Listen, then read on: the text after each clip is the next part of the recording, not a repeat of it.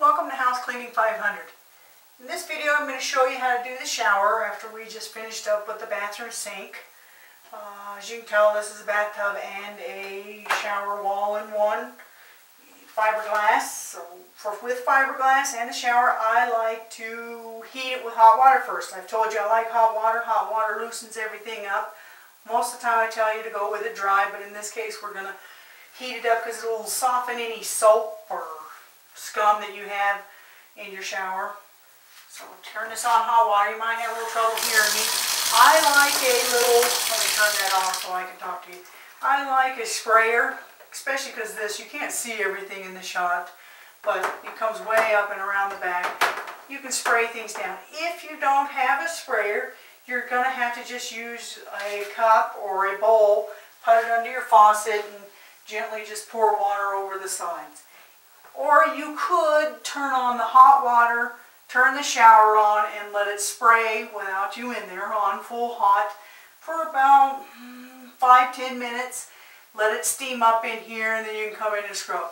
Tends to make the bathroom a little hot, so then when you're in here scrubbing, you're kind of sweating, but it does loosen things up and makes it faster. So it's, it's kind of up to you.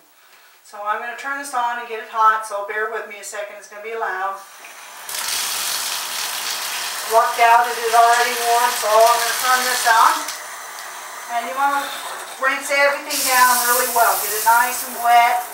If you see there's a part with a lot of soap or something, let it soak on there. Spray it hot on there. I do have a dish here that I keep my soaps in. I'm going to let that soak down here on the bottom. Hit your chrome. A lot of times you don't want to hit your chrome with too hot of water because hot water will leave a burn mark on it if it's real hot. I, most people don't have their water too high for um, safety precautions because water can definitely burn you or scald your children. So I'm kind of out of the camera range there and all, but I just want to make sure to get everything rinsed down. Get the hair out. Let me rinse this one more time, break it apart. Break things apart if you can. That way your cleaner and your water can get in there and get it all soft. Shut that down and I let the water drain a little bit and then I pull the plug because I don't want all my cleaner to go right down the drain. You pull your plug and it's let a little bit of water in here. I don't know if you can see it, but there is a little bit of water down in there. I am going to try to spray. Uh, I usually don't recommend putting two cleaners together but I am going to give just a little quick spray of this foam cleaner and see what happens. I, I assume it'll clean. This shower is not that dirty. I mean, it's hard to prove something when you've already started with a fairly clean surface. I mean, people go, oh, look how wonderful this cleans. Well, it's already pretty clean, so it doesn't tell me much. But I already smell, because we've used the aerosol, I mean, it smells, but trying to tell if I'm getting it in my nose. It does seem like I'm getting it in my nose a little bit. It worked well, but as I said, it's not bad. So, I mean, if you're in this, I have seen on TV where they have the one that goes in the shower and sprays, but I don't know about that. I can't say I knock it. I haven't ever tried it, so I can't say. I'm going to drain that a little bit because I don't want to mix too many chemicals together me, mixing chemicals is a dangerous thing. So pull that plug again. I'm going back to my porcelain cleaner. I will do some investigating to see if there's something in the grocery store or Walmart that I would recommend. At this point, not so much. You just give this kind of like we did the bathroom sink, just a spray. This runs down the sides and it starts working right away. Sometimes if you have a fairly dirty shower, You'll start to see the line right in the dirt right away. Get your rag, get it down here. The cleaner's already coming into the bottom here. Catch it in there. Start to hit your chrome up here. Try to get out of camera view, sorry.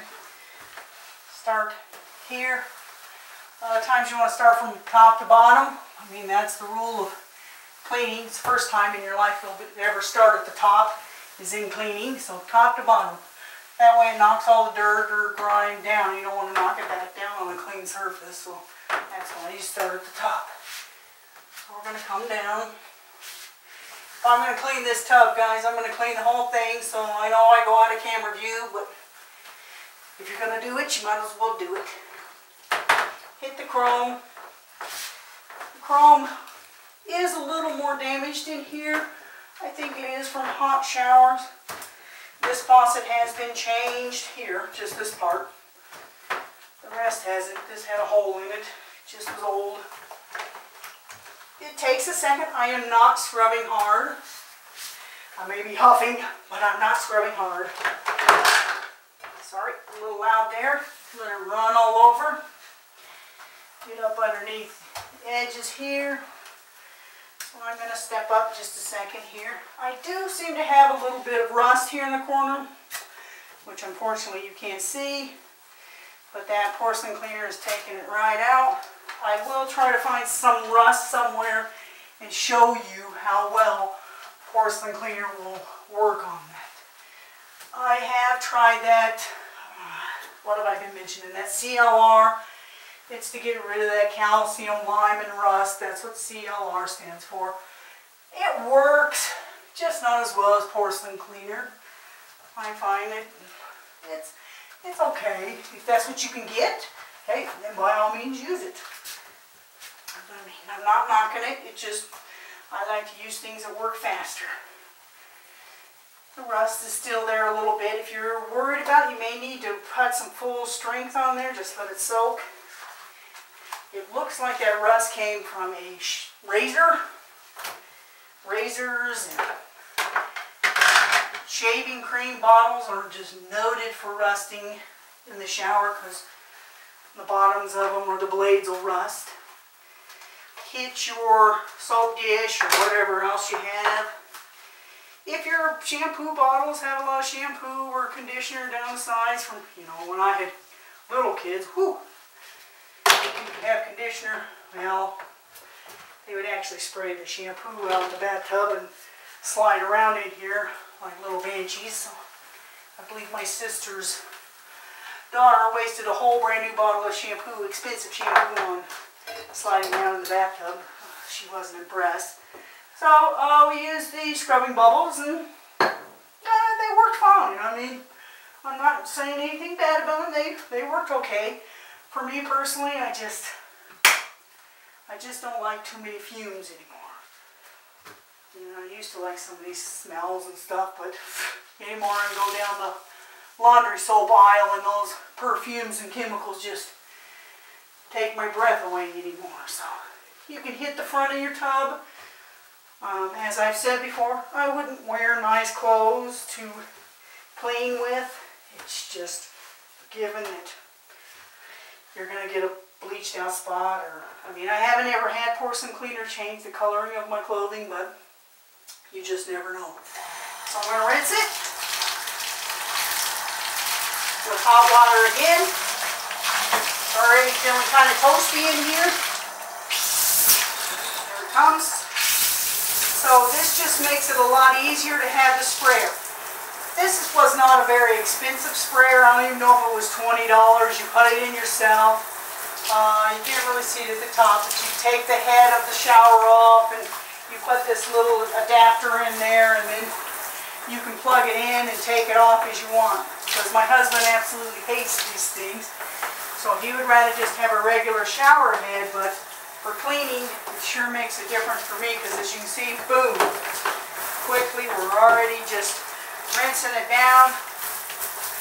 Grab this rag, any hair or anything, send it down, rinse off our soap dish, nice and clean. A little bit of soap there in the bottom, but it's a thick piece of soap, so I'm not going to worry about dissolving that.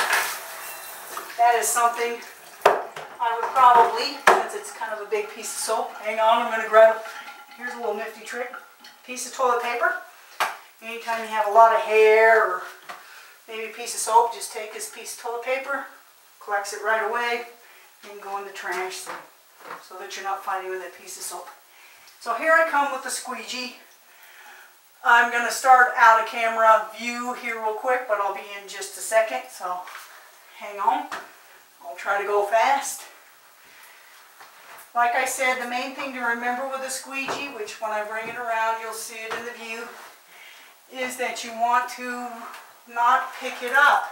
Many people pick the squeegee up. I don't know. Just, maybe it's just you think you're supposed to. I don't know. Actually, I probably learned that from a window washer, so I'm not giving myself a whole bunch of credit. I wasn't, I would not say I'm always the sharpest knife in the drawer. I'm not the dullest, but not the sharpest always. So hopefully we're in view. Yep, look back at the camera. So you lay it against the surface. You don't want it out at a 90 degree. You want to lay it almost, you know, kind of horizontal with it. Glide it along, and, and a lot of people would just do this. And you could, if you're not concerned about it and you're just wanting to get through fast, which I do. I just do this. But if you want to be clean and you want to save on your rags, say you're cleaning somebody's house and you only have well, 10 rags, you got to be careful with them. You're going to want to take it, pivot it, bring it back. This is the same method you'd use on windows. Bring it back. Unfortunately with this, we are have a little bit of a curve here, so it's a little harder to get into it, but as I said in the bathtub, it may not be as critical, but you just, you don't want to pick it up any more than you have to. Once you pick it up, that's when you get the streak mark left. So we're going to hit the back. If you want to, you could continue to dry down your bathtub. I don't dry it down. For some people, if you really, I mean, I've seen some dedicated people, they will take this and take their squeegee, and after every shower, they will squeegee this down before they even get out of the shower to get dressed. They're stronger people than I am. I'm not going to squeegee down the shower after every shower. But especially with glass, it really does help a lot with glass, a glass shower. I'm going to take off this attachment here so you can see I just popped it right off. I blow it out. Get all the water out of it. Take it out of there. Shake it a little bit. Put this away or if you want to use it for children or washing pets, I use it sometimes to wash my dogs. Makes it a lot easier on the back. As I said, if you don't have a sprayer, it's going to take longer. But you can just take a bucket. This isn't, you have a bigger bucket than this. Or a glass. Not a glass glass, but a plastic glass. Put it under here and just kind of throw it onto your wall to rinse it down. Okay. Sometimes you just, a lot of times I just jump into the tub. Okay, you get a little wet, but it moves faster and you can get it done quicker. I do dry down the chrome just because I don't want it to leave that spot. Once you leave these hard water spots on here, they begin to etch into things, and once it gets etched, you can't fix that. Etched is damaged. It's not just a hard water buildup. Hard water buildup is going to be out. You're going to feel it coming away from the surface. If it's etched, it's going to be like an indentation. It's going to go in. It's like a little pit out of glass or out of your chrome. And you can't fix that. It's just damaged over time and years and abuse. So, I think we're pretty much done in here.